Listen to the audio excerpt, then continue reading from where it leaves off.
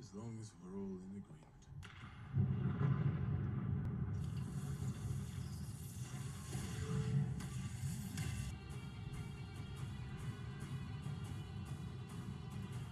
Hello everybody, my name is Davis and welcome back to another video. And today we are here back in the battle arena once again.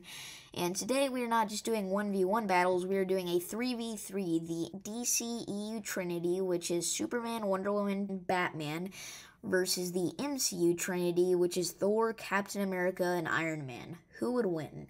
Now, I have done so much research on this battle because this is probably going to be one of the most important ones that I ever do on my channel.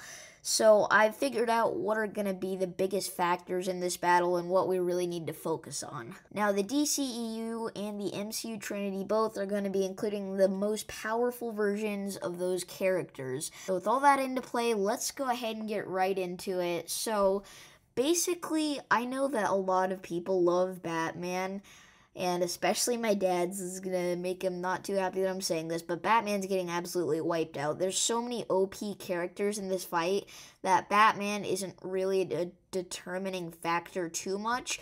Um, Captain America, since he has Stormbreaker and Mjolnir, he is. So Captain America, no joke. Um, Iron Man, pretty powerful, but definitely the weakest of the MCU Trinity. Uh, Superman obviously is going to be helping out big time in the DCU Trinity. He's basically carrying.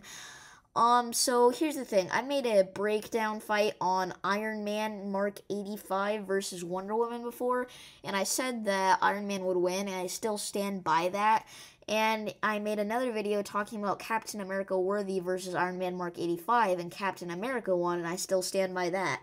So by default, Captain America or Iron Man could take out Wonder Woman, whichever one, it doesn't matter.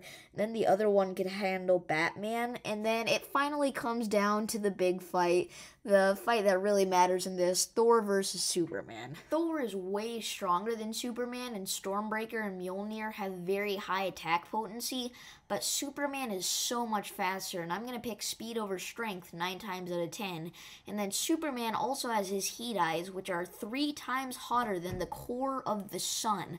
So he's just going to melt straight through Thor, and he's going to be able to do the same to Captain America and Iron Man before they even have a chance to react, because those two are nowhere near as fast as Superman.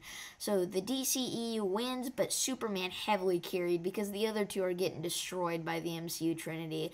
But overall, the DCU Trinity still wins, so congratulations.